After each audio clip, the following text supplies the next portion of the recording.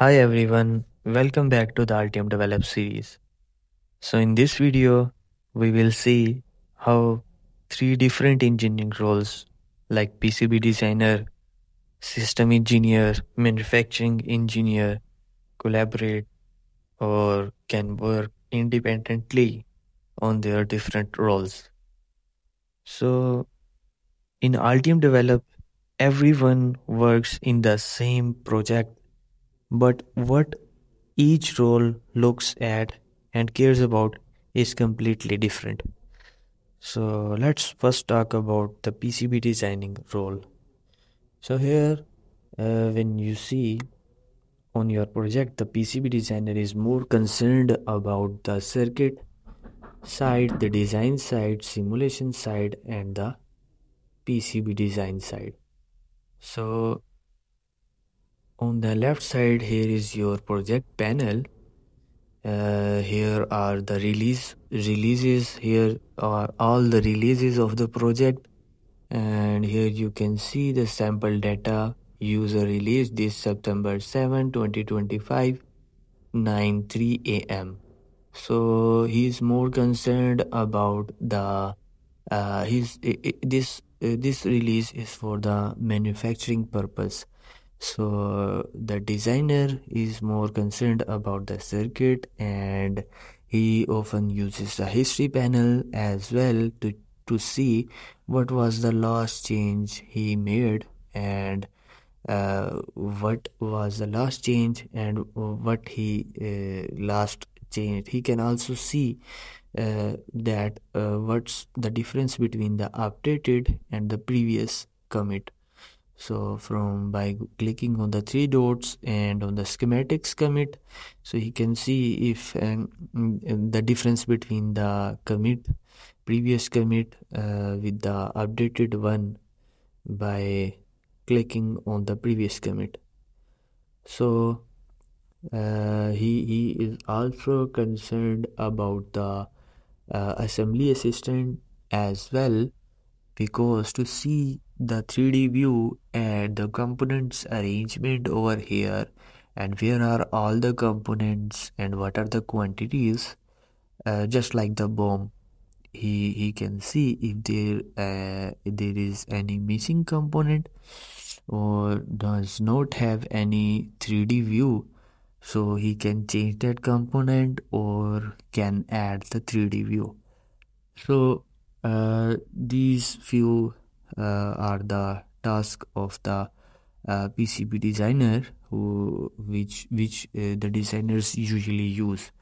So for the system engineer, he looks uh, some broad view, way uh, like he is more concerned about what is the requirement of the project and what changes are made and what are the tasks for the designer what should be the in interfaces of the circuit. Uh, like if you are uh, designing a multi-board the system engineer will see the interfaces are linked together or is there any error or not? So uh, or other constraints what are the constraints of the design and what are the status of the task like are they in to do or completed or uh, what's uh, the status? Is there any other status of the project? So he can uh, text the designers to make the changes as per the task assigned to him. So uh, he's also concerned about the different other options as well. But here you can see let's go back to the projects option and let me open the requirements portal over here.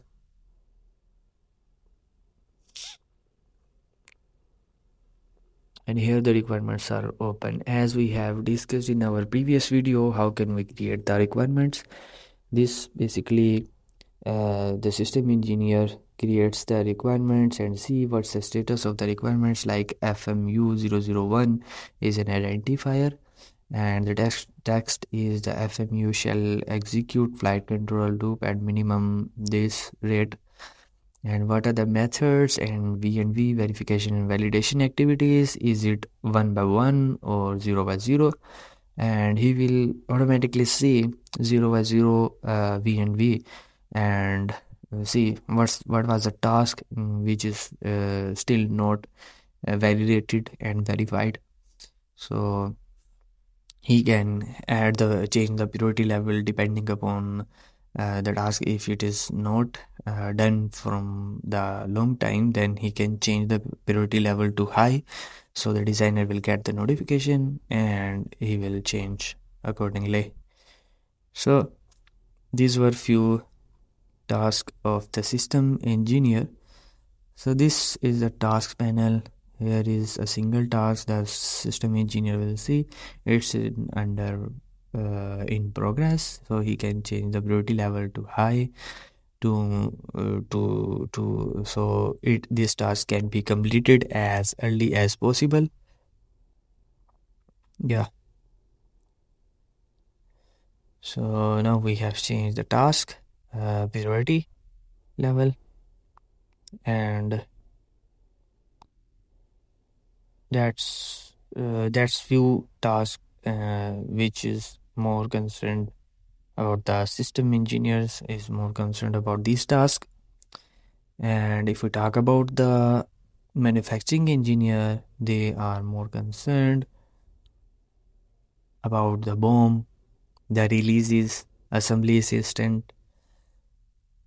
And this this releases option you will see is it uh, have the all the required files for the manufacturing like BOM uh, manufacturing uh, files other other manufacturing files like assembly file pick and place BOM file gerber pdfs and uh, stack up information.